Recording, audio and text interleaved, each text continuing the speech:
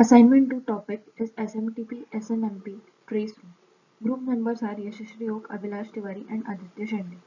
Now we will be moving forward towards SMTP protocol. SMTP stands for Simple Mail Transfer Protocol. SMTP model is of two types end-to-end method and store and forward method. It is a TCP IP protocol that specifies how computers exchange electronic mail. It works with the Post Office Protocol (POP). SMTP is used to upload mail directly from the client to an intermediate host, but only computers constantly connected such as internet service providers to the internet can use SMTP to serve, receive the mail. The ISP serves then offload the mail to the users to whom they provide the internet service. To send a mail, a system must have a client MTA and to receive a mail, system must have a server MTA. SMTP transfers this message from the client MTA to server MTA. SMTP uses commands and responses to transfer the message between the MTA client and MTA server. In order to send a mail, SMTP is used two times, one between the sender and the sender's mail server and the other between the two mail servers.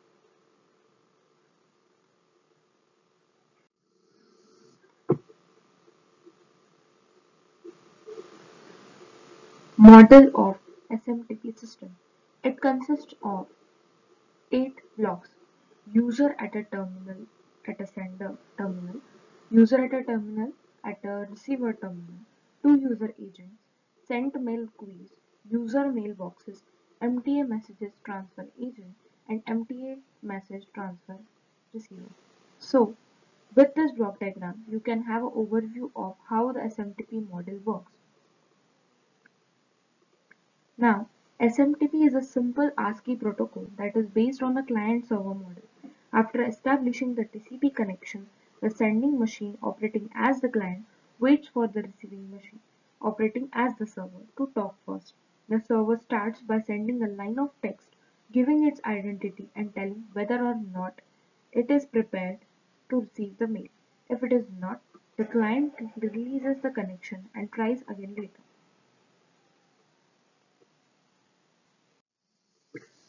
SMTP commands. SMTP commands are sent from the client to the server. Each command consists of a keyword or a command name followed by a zero or more argument. It means some keywords do not contain any argument. The format of the command is keyword colon argument in bracket s. There are 14 different SMTP commands available. SMTP responses SMTP responses are sent from the server to the client. Each responses begin with the three-digit code and may be followed by additional textual information. The leading digits indicate the category of the response. The different categories of the response are positive completion reply, positive intermediate reply, transient negative completion reply, permanent negative completion reply. In the positive completion reply, it indicates that the requested action has been successfully completed. A new request may be initiated. In the positive intermediate reply, it indicates that the command has been accepted, but the requested action is being held in abeyance pending receipt for further information. Transient negative completion reply. It indicates that the command was not accepted and the requested action did not occur. However, the error condition is temporary and action may be requested. Permanent negative completion reply.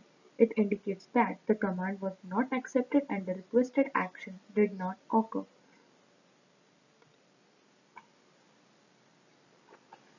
Moving towards the block diagram of SNMP.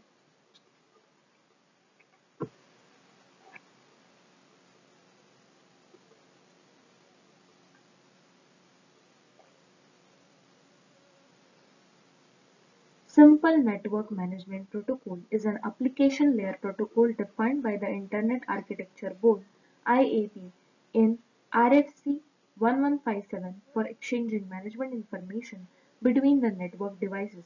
It is a part of the TCP Transmission Control Protocol IP Internet Protocol Suite. SNMP is one of the widely accepted protocols to manage and monitor network elements. SNMP Manager A manager SNMP Manager A manager or the management system is a separate entity that is responsible to communicate with the SNMP agent implemented network devices. This is typically a computer that is used to run one or more network management systems. SNMP manager's key functions are queries agents, gets responses from the agent, sets variable in agents, acknowledges asynchronous events from agents. Now, moving towards the managed devices.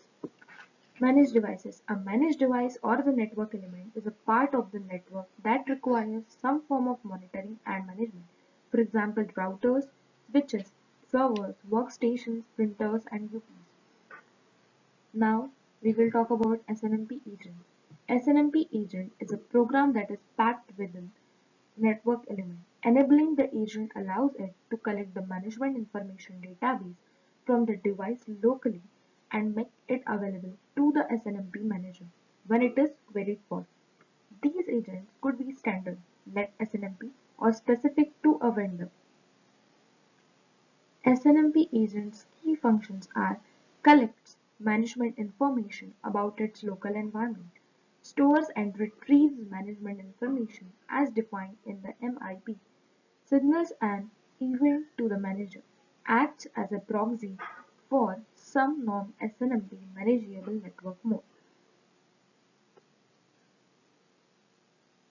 This was all about the SNMP. Now moving forward towards the traceroute command. Traceroute is basically a command which is used in the software Linux commands under the software of used in CCM.